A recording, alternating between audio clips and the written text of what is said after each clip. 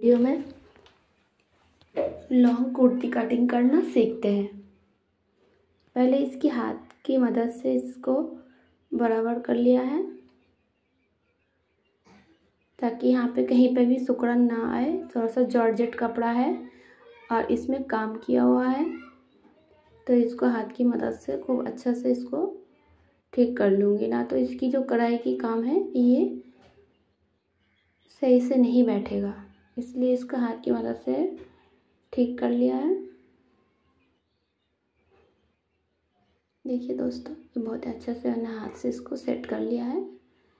अगर आपके पास इस तरह से कपड़ा है, आप इसको हाथ की मदद से इसको सेट कर लीजिएगा। सबसे पहले हम शोल्डर की नाप लूँगी। Seven inch seven inch seven inch इस तरह से एक बॉक्स बना लूँगी। क्योंकि हमारा शोल्डर जो है वो चौदह इंच का है, उसका आधा सेवन इंच ये बॉक्स बना लिया है।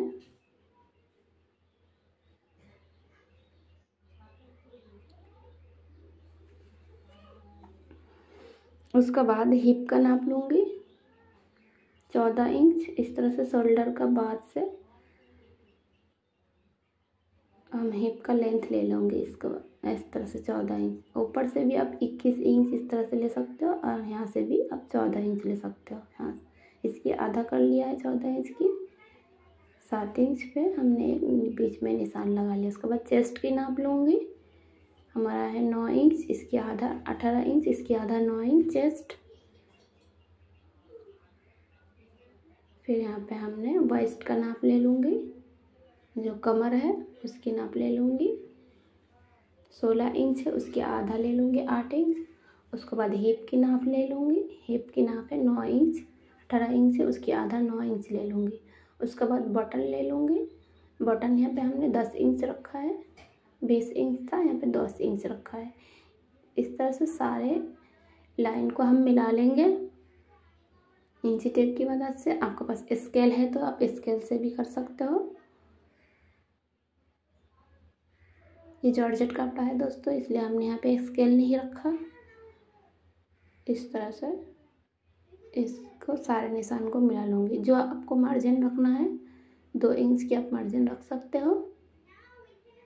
यहाँ से हमने डेढ़ इंच की रखा है और ऊपर से हमने दो इंच का रखा है। क्योंकि हिप से दोस्तों बटन तक की ज़्यादा कपड़ा नहीं लगता है। इसलिए हमने हिप से बटन तक की, डेढ़ इंच की मार्जिन रखा है, बाकी ऊपर हमने दो इंच की मार्जिन रखा है। दोस्तों, अब इसको कटिंग कर लूँगी। कटिंग करने के बाद दोस्तों, आपको थोड़ा समझ में आ जाएगा। ये थोड़ा सा आड़ा कपड़ा है, इसको काट के बराबर कर लूँगी।